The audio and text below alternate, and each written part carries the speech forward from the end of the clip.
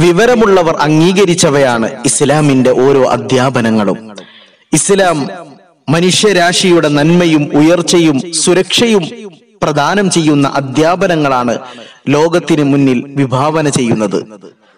വിവരമുള്ളവർ അത് തിരിച്ചറിഞ്ഞു അത് ശരിവച്ചു.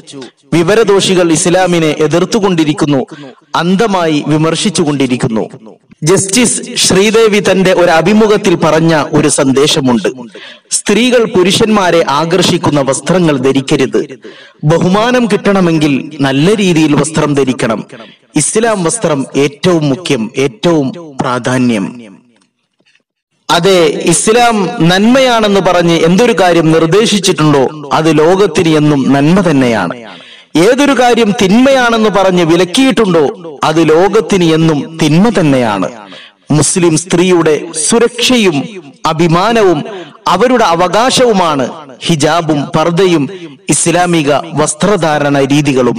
അള്ളാഹു സുബാനഹുവ താല ഇസ്ലാമിന്റെ അധ്യാപനങ്ങളെ പഠിക്കാനും പകർത്താനും ലോകത്തിന് പകർന്നു കൊടുക്കാനും നമുക്കെല്ലാവർക്കും നല്ല തൗഫീക്ക് പ്രദാനം ചെയ്യുമാറാകട്ടെ. റബ്ബന തഖബ്ബൽ മിന്ന ഇന്നക അന്ത സമീഉൽ അലീം. വതുബ് അലൈന ഇന്നക അന്ത തവ്വാബുർ റഹീം. ആമീൻ. ബിറഹ്മതിക യാ അർഹമർ റഹീമീൻ.